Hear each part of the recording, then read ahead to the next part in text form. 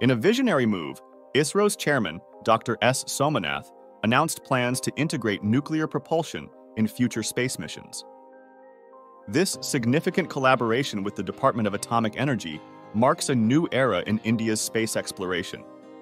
Sparking this enthusiasm was the success of Chandrayaan-3's propulsion module, where the radioisotope heating units performed exceptionally, paving the way for more advanced applications. But how do nuclear rocket engines work?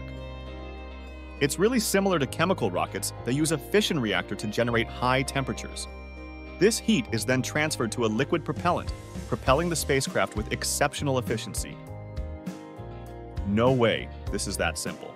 But let me make it for you.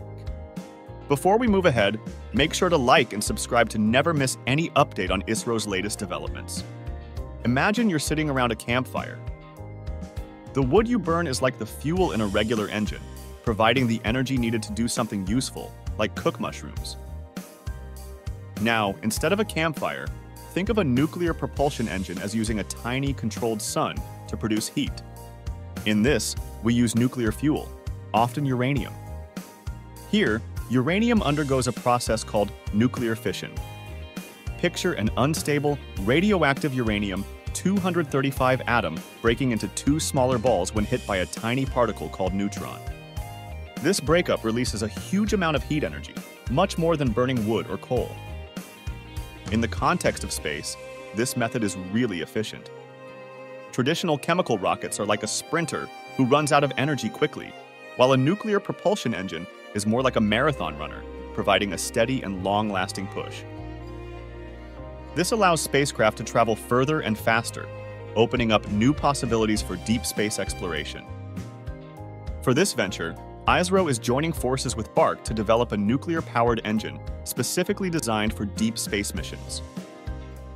These engines overcome the limitations of chemical engines, especially in fuel capacity and travel duration. But why go nuclear?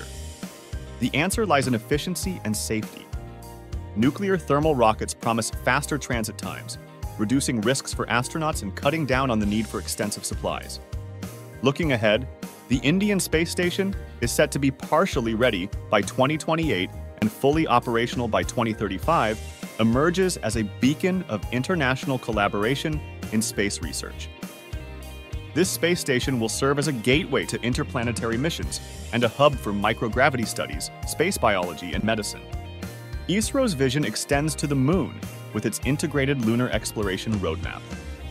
This ambitious plan includes establishing a cost-effective moon base habitat and a lunar sample return mission, underscoring India's commitment to sustainable space exploration. Do you know why is ISRO investing so much in this tech?